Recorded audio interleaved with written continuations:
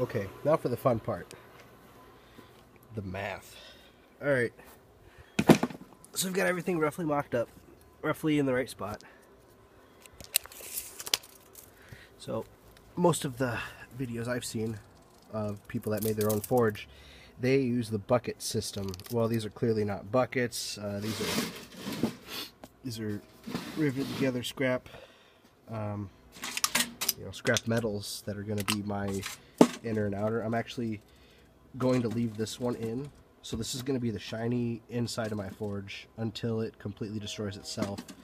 Um, what I'm going to do now is I'm going to measure everything um, to prepare my uh, pour. And before I pour, I'm actually going to line up the rivets and the rivets.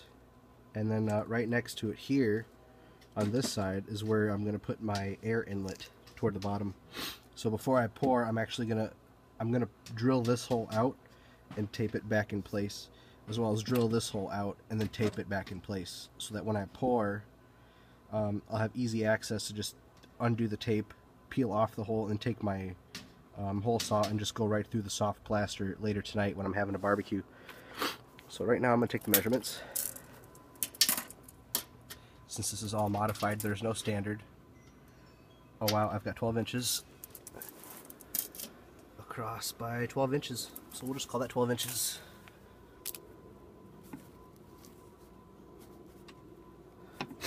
Uh, 12 inch uh, diameter. I've got 14, 14 inches on the height. This is really bad. You're, you're not going to see any kind of work like this. And then the volume we're just going to be dealing with is, is what's in here. So this is going to have to be factored in as well. This one is measuring 8 inches by 8 inches.